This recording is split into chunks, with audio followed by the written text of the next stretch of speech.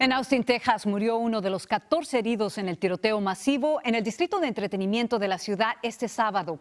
La víctima, Douglas John, cantor de 25 años de edad, falleció horas después del mediodía en un hospital de la ciudad, según informó la policía de Austin. Las autoridades están tras la pista de un segundo sospechoso de protagonizar el ataque a tiros. Y es que desde el viernes varias ciudades del país han sido testigos de tiroteos masivos. Hasta esta mañana se habían reportado más de 87 personas muertas o heridas en estos incidentes violentos.